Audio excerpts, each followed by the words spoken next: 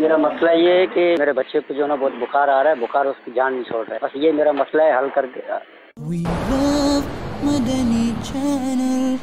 We love Madani Channel. We या माजिदू जी। दस बार पढ़कर शरबत पर दम कर दें और वो पी ले बीमार तो इंशाल्लाह वो भी शिफा पा जाएगा इंशाल्लाह अब बुखार में ठंडा शरबत और वैसे ही अगर बुखार का ही कोई शरबत पिलाया जा रहा है या सादा पानी ही पिलाया जा रहा है है ये भी है। अच्छा।